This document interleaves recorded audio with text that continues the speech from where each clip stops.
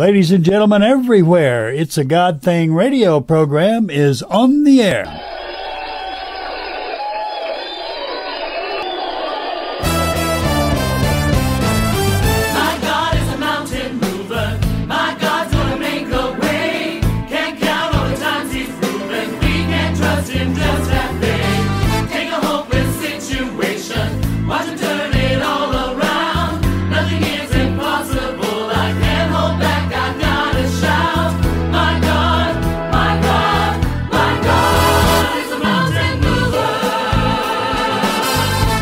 Yes, our God is a mountain mover, and you know what? He's still moving mountains every day. And the good news is, He can move your mountains too. Hi there, this is Chuck Cooper, host of It's a God Thing radio program. Thank you for joining us today. We sure are glad you're here. You're about to listen to some awesome interviews with believers in Jesus Christ who will tell you how God has revealed and proved himself to them by moving mountains they were unable to move by themselves. They say that their stories can only be described as a God thing. Ready for a real blessing? Alrighty then, let's do this God thing. We are privileged and honored that Jan Reynolds of Blairsville, Georgia, has agreed to share her inspiring God thing story with us today. You see, Jan is a three time cancer survivor. You heard that right. Three time cancer survivor who was told by her doctor that she would die from her stage 4 cancer regardless of what he could do for her. But she proved that doctor wrong. Here to tell her incredible story is our friend Jan Reynolds. Well, Chuck, thank you for inviting me to do this. My story goes back to the fall of 2007. Um, I had had my normal uh, doctor checkup. Everything was fine. All my blood work was good. And then starting around November, I began having some pain in my right side. But women are used to hurting in that part of their bodies, and so I, you know, didn't think too much about it. All during the Christmas holidays, there was that nagging little feeling. And then on January the 15th, 2008, I had driven from Athens to Blairsville to take my mother to lunch for her birthday. And on the way back that day, I had to pull over to the side of the road because I was in such intense pain. I felt like I was unsafe to drive. Oh my. So I had to wait until the pain subsided. So I went back to the doctor. I knew something was wrong. So I went back to my gynecologist. More exams, more blood work, nothing. So she began a series of sending me to have a CT scan. She sent me to a, a doctor where they did an endoscopy. I had a colonoscopy, nothing. Wow. But I my pain was getting sharper and sharper. And was it constant chronic pain? Uh, not constant, but um, several times a day. Just sharp as if a knife was oh. twisting in my side.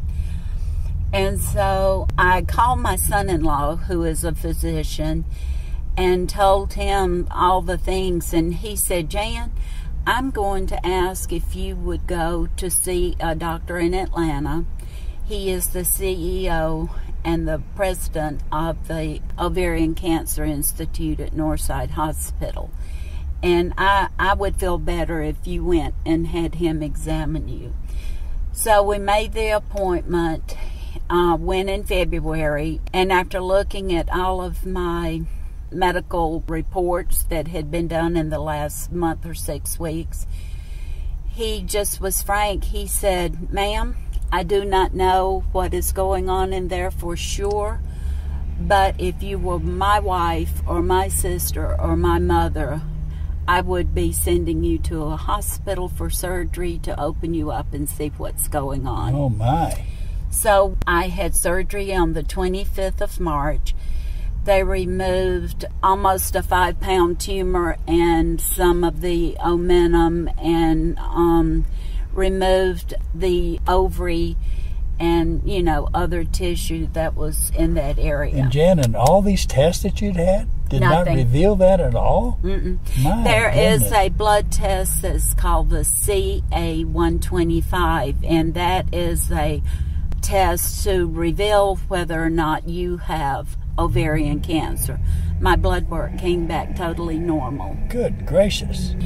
So, after the surgery, came out and told the family while I was in recovery. So the next morning he came to see me. He told me the news that I did have ovarian cancer.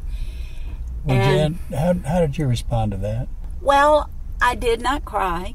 I looked at him and I said, Well, Dr. Benigno, I may have cancer, but I can give you my assurance cancer will never have me. Whoa. And so he said, That a girl, you fight, you fight.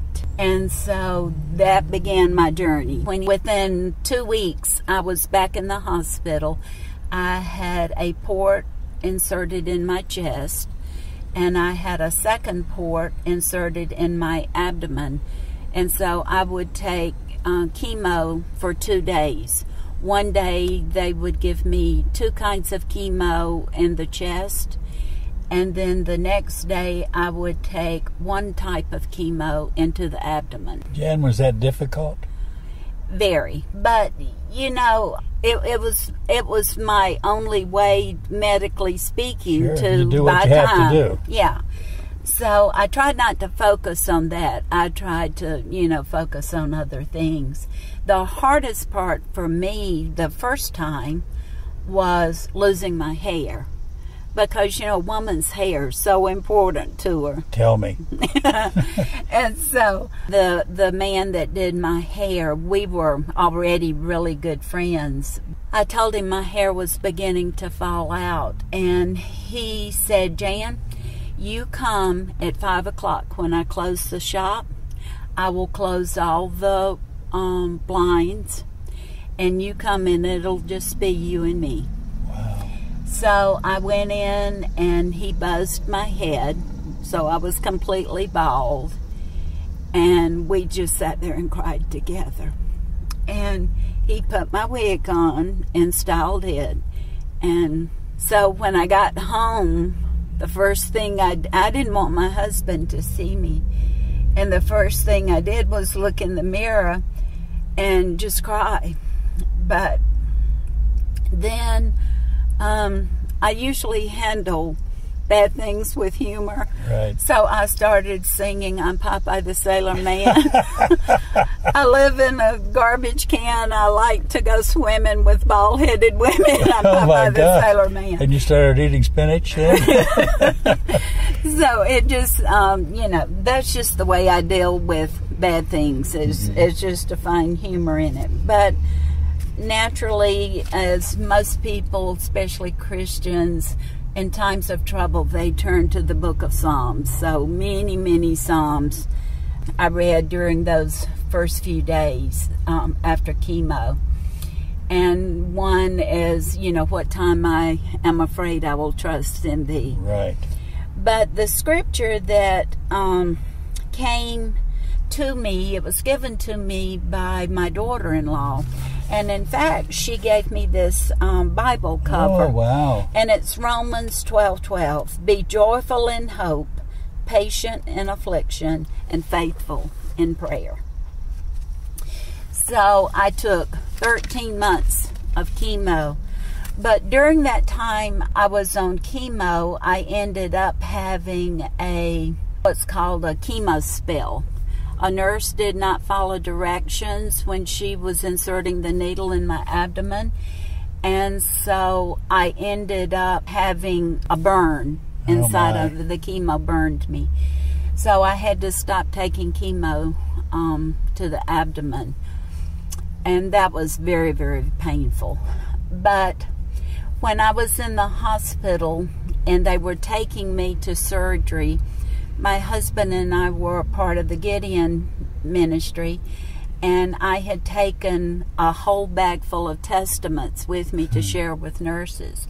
So every nurse, every technician, um, the housekeepers, everyone um, before I went into surgery received a copy of God's Word and a word of witness. And then as I was going down the hall to the surgical suite, I had testaments under the blanket. and so I you. was just handing them out. I didn't have time for a word of witness, Right. but I was just handing them out to everyone I saw in the hallway. And then I reached and reached and I kept trying to find. I had one testament left. And I shared um, that testament with my anesthesiologist and asked if he, if he knew Jesus. And he's um, he you know he was busy getting ready to put me to sleep and um, he he just really didn't want to listen. He said, "Why are you asking me this?" And I said, "Well, since you're putting me to sleep, I want you to wake me up, and I would feel more comfortable if I knew you were saved." Well, anyway, he took the testament, and whether he ever read it, I do not know. But that's that's not important. Right. I, I was faithful to give the testament. But all during that time, um, I would pray for my doctors and my nurses. And so many people uh, just were so kind and so good to me in the hospital. But as I would go to that chemo lab, one thing I learned was uh, as I was sitting there taking chemo, I would watch and different patients would come in and you could see right on their face as soon as they walked through that door the ones who had hope and the ones who had no hope Oh, wow. it was that evident on their faces. And so those that would come in so downtrodden, I would try some way to make eye contact with them Sure. and uh, give them a testament. All during that uh, 13 months that from surgery through chemo, I tried to give away as many testaments as I could. Um, gave about 40 during the time I was in the hospital, and then uh, to the patients and all, probably another 20 to 30 more. My goodness. So, uh, just a wonderful time of witness that I could uh, share with other people. And the chemo nurses told me during that time, um, they would say, Mrs. Reynolds, you're going to be a survivor because you don't think about what you're going through. You tried to, um, you know, laugh and joke and and enjoy you know what time you have and you're always reaching out to other people so we feel sure with your attitude you're going to be a survivor Well, that was encouraging. very much so well but, but Jan, that's you. well That's the Jan you. I know. Well, you know, it was constant. Every three months, I had to have scans, and so more opportunities to give testaments. And then during a routine scan in the fall of 2011, um, it was revealed that uh, cancer was back. And Was that disheartening? um, I guess just shocking. You know, I just thought, you know, the nurses had been so encouraging, you know, and here I go again. But um, did, did you hang on what they said? Did you yeah, dwell I on did. what they said? Yes, that I would be a survivor. Sure. So, um, but I continued, you know, reading scripture, and you know, I would believe what God said, and you know, if I lived, I lived, and if I died, it was still gain, you know. Right. So, um, in October of 2011, my mother died. And so, a couple of weeks after she passed, I was diagnosed with cancer you the Oh, second man. time. And this time it was on my spleen and on, on the bowel. And so they removed the spleen and about two feet of the bowel. And um, I began chemo again. I took it for 12 months that time. So we're already over two years worth wow, of chemo. gosh. And during the time I um, took chemo, about two or three months into um, the journey with chemo, I woke up one morning and it was as if I had a crick in my neck. But then when I looked in the mirror, I was very swollen, and it just so happened I had to go for chemo that day. So I mentioned it to the nurse. Well, the next thing I know, I'm down in the emergency room at the hospital, and they did all kinds of tests and all, and my lungs had filled up with clots, and I had uh, a big clot in the carotid. My goodness. Cancer thickens your blood, hmm and um, so that's where the clots came from. So, but it turned out to be a blessing because I was sent to a hematologist, and the hematologist um, is an Indian, um, Hindu, I guess, and um, just very arrogant, very proud. And he just didn't know how to handle me and my smiles and and you know my word of witness. Um, but during that time, we we would talk, and I would share scripture with him. Uh, so he he became less angry and less um, ugly to me. He and Dr. Benigno, my oncologist, were good friends, and so they got me into a clinical trial after I finished Oh, chemo. wow. So I did a uh, clinical trial. They were hoping that um, they would be able to find a vaccine um, for women for ovarian cancer. Well, I was in the clinical trial for 11 months. My gosh.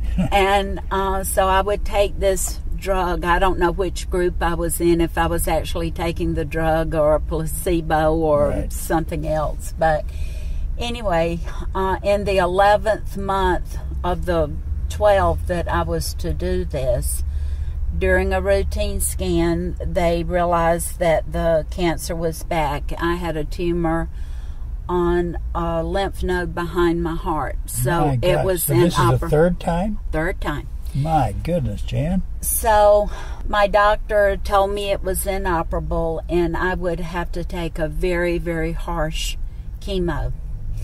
And so the chemo, um, well, all the, the chemo nurses called it the red devil. And Whoa. it turned out to be the red devil because my mouth was covered in ulcers inside all of my gums. Jen, did you ever think about giving up? No, No. No. No, I I didn't choose to do that.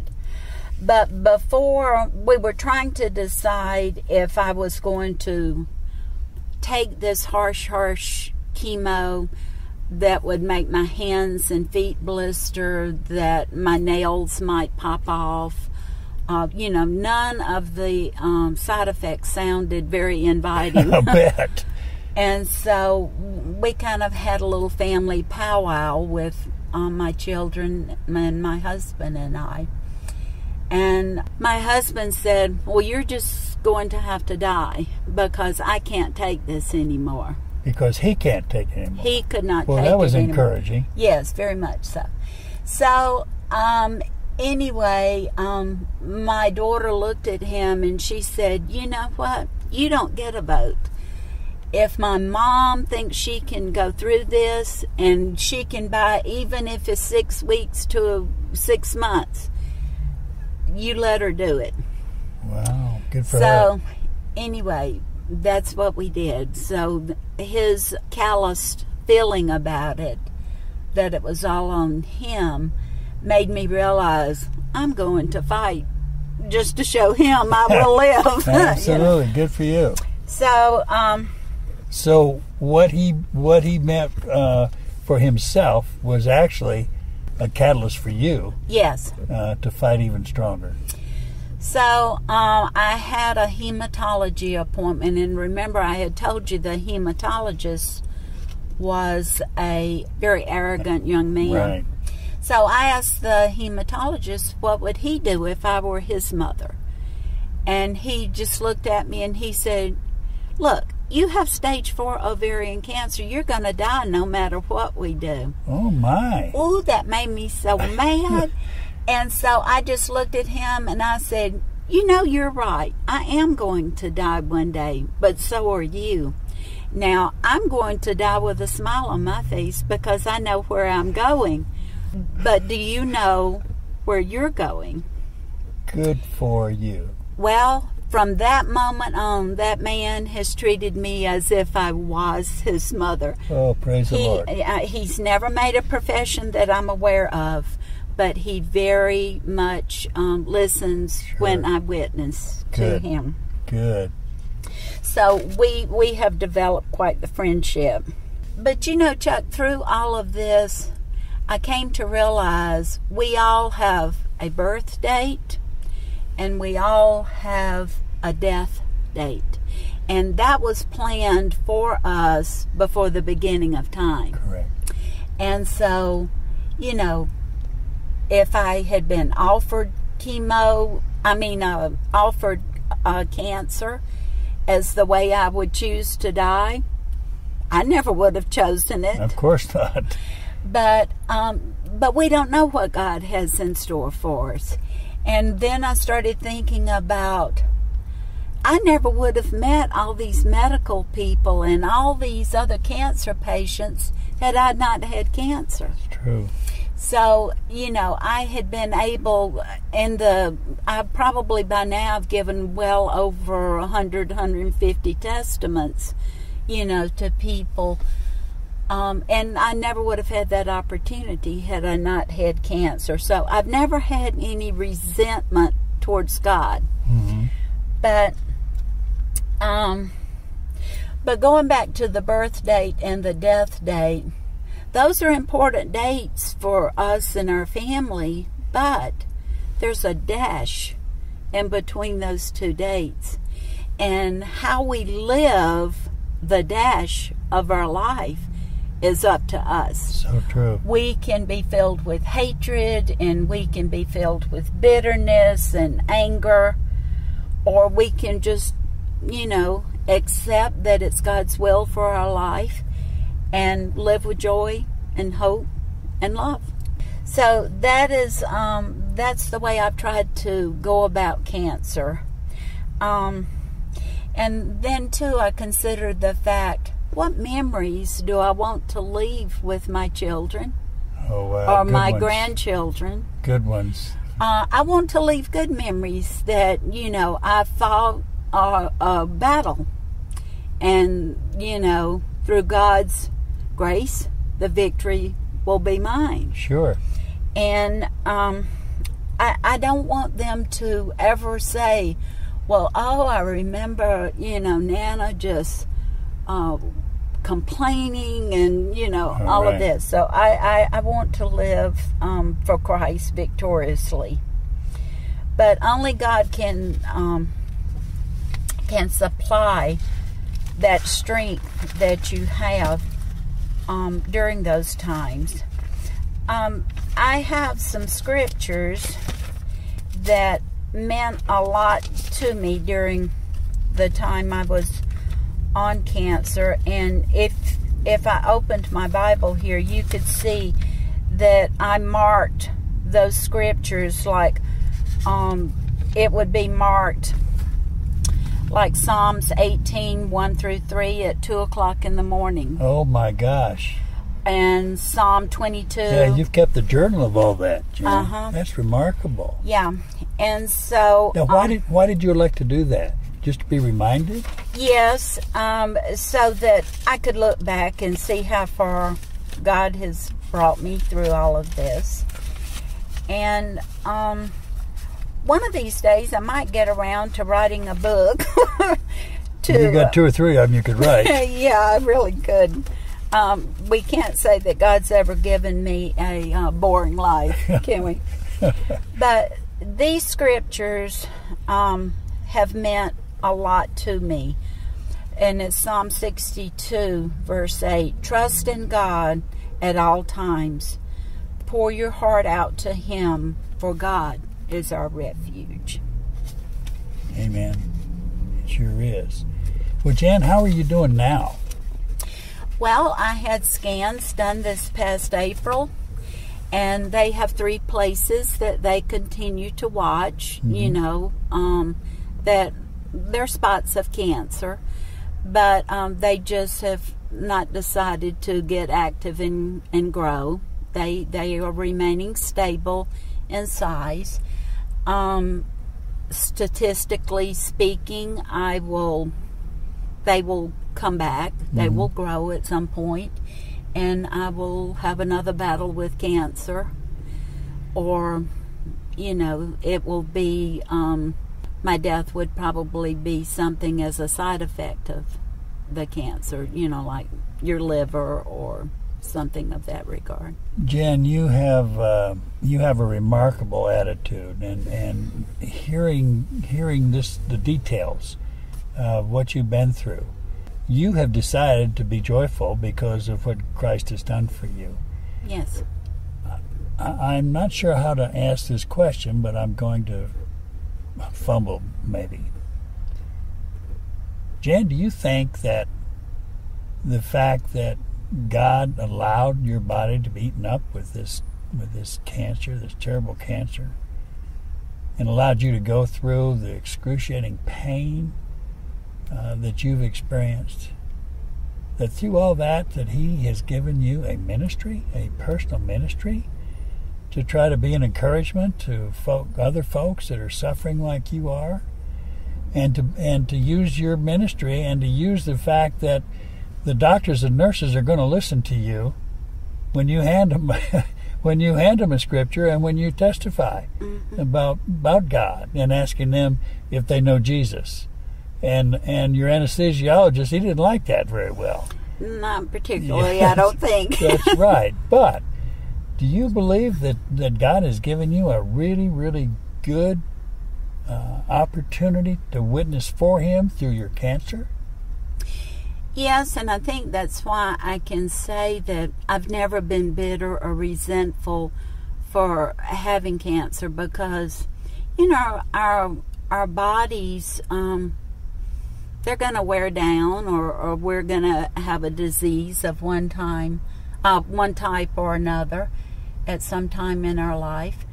But um, I I think that God chose me you know, who Sure. am I? I don't know why I lived and other people did not. Neither did Moses. Uh-uh.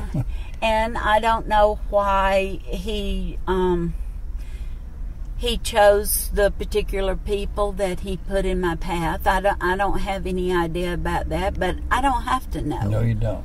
Uh, it that's not important. But what's important in the first chapter of Second Corinthians, and I think it's like verse two or three. Um, it talks about the the pain and the affliction and the trouble that we go through in life. That we are to share that with others as a um, tool for strengthening them. So, to answer your question, yes, I think God has used this, and I, I don't, I don't want the the attention to be on me. I want the attention to be on, you know, what God has done. But Jan, that's you, and and that's the Jan that all of us know uh, and love. And Jan, your your attitude those that are around you that see you, and now, and that know some of the details about what you've been through. The smile, the big smile, you have a gorgeous smile, and the smile on your face is almost constant. And you have been a witness to people without even talking to us, without even trying to share your testimony, to because we see you, we see how you've handled this. And boy, that gives us the opportunity to say, okay, gosh, Jan went through all that, and I, I'm not, I don't have cancer, but I got some other issues going on, and and her attitude has brought her through this, and her attitude has brought glory to God, and that's what we're here to do anyway. So we can use your example as a catalyst for giving glory to God like we're supposed to, and gives us an idea about how we're supposed to handle the trials that we face too. You know, the day that I had surgery, the first time, there was a lady who had surgery that same day. I mean, I remember seeing her in Right. recovery. And we ended up um, having the, kind of the same schedule for chemo. And she, when she would come into the chemo room, there was never a smile on her face. Um, she refused to eat. She refused to even, you know, try to get up to go to the restroom by herself or just to walk around and pull your chemo with you. She refused to do any of that. And so, um, as I said, when you don't have hope, you know, what do you it's have? It's over. It's over when you don't have hope. So consequently, she died within six months after oh um, man. after we began our cancer journey at the same time. And see, this coming March, I will be celebrating ten years. Well, praise the Lord for that. Praise the Lord for that. And doctors don't give you that much time No, with stage don't. four. No, they don't. No, they don't. So you're feeling okay now? Are you in pain, Jan? No, No pain at all? no. Wow. But you, but you're so accustomed to pain, you might not recognize it Well, like that's would. true. that's that's true within itself. But you know, once you've been split in half from surgeries Well, two or true. three times, you know, pain's relevant. yeah, I'll bet. I'll bet. Well, Jan, thank you so much for your willingness to share with us. Uh, you have already been an example to everybody that, that you know and that knows you or knows about you. Your testimony is going to go all over the world now. Well, when I was a little girl, my mother used to say, You are the most strong willed human I have ever met. And I've thought about that many times. Without being strong willed, you know, I would not have survived all of Well, this. Well, that's true. That's true. But you were strong willed because you knew God and you knew what He would do and what He mm. could do, and and it was His purpose, not yours. Yes. So, well, Jan, I got one final question for you. Uh, in all this, with the chemo and everything, and now 10 years cancer free, would you conclude that everything that's happened to you, the personal ministry that you've been given, is a God thing? It is a God thing from the get go. Jan, thank you so much. We love you in the Lord. Uh, thank you.